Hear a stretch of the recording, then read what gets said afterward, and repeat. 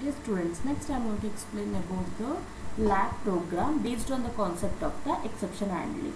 Okay, I told what is an exception, what is the exception handling, how to handle the exception using uh, try, try block, uh, using try catch block, throw, throws and the finally, right? Next is your write it Java, the program that is uh, your third A program is based on the exception handling.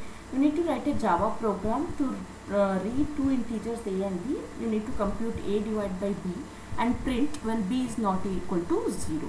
Raise an exception when b is equal to 0. The question is first you need to read two integers that is uh, a and the b. Okay, uh, then you need to compute a divided by b. If the b is not 0, okay, if the b is 0 then you need to raise an exception okay they given the question when b is not 0 you need to compute the answer. If the b is not 0 if it is 0 you need to raise the exception. What type of exception are you are going to raise if the b is 0 that is the arithmetic exception.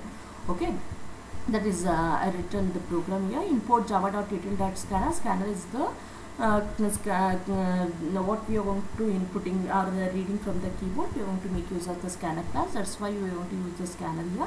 Class exception. Exception is the name of the class. Okay the main mm, the program is going to start from the main method and you be given int a comma b comma result. Are they already given you need to read two integers a and the b. Okay the whatever the result you got that is going to store it in the one variable that is the result. Scanner input equals new scanner system dot in the input what we take is object we created for the scanner class. Okay then system dot out dot println i am inputting the two integers. The what type of um, uh, data you want to give you should give the integer form okay that is a is equal to input dot uh, next state what is the value you're going to give? That is going to store it in the a.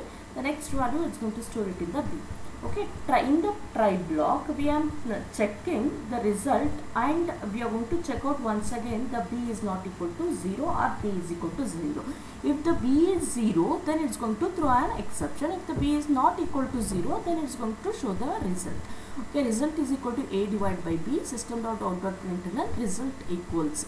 That result is going to be stored. If the b value is 0 then it's going to throw an exception that is going to caught in the catch block.